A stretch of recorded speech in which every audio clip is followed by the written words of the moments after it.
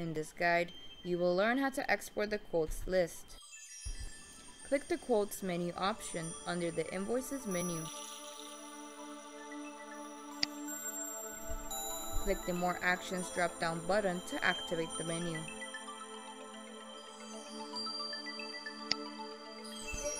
Click the export to PDF list item. The quotes list is displayed in PDF format. Congratulations, you have completed the Export the Quote List Guide.